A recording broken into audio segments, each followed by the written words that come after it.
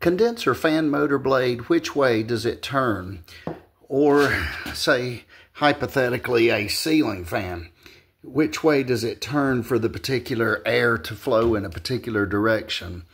The condenser fan motor would go this way. As one notes, they, there's a higher edge and a lower edge.